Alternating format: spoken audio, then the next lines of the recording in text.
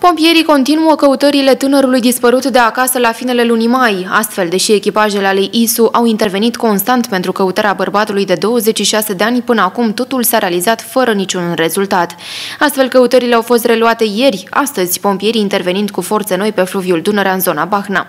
Tânărul în vârstă de 26 de ani din municipiul Drobeta Turnu Severin este cunoscut cu probleme medicale, depresiv și cu mai multe tentative de sinucidere. În ziua dispariției i-a transmis mamei sale un mesaj pe telefon telefonul mobil că se află pe podul de la râul Bahna, în dreptul kilometrului fluvial 950 și că intenționează să-și pună capăt zilelor. A lăsat autoturismul pe comunicația turnul Severin Ilovăț cu cheile în contact. Totodată, pompierii mehedințenii au salvat astăzi o persoană de 86 de ani în pericol de cădere de la etaj într-o pe turnul Severin.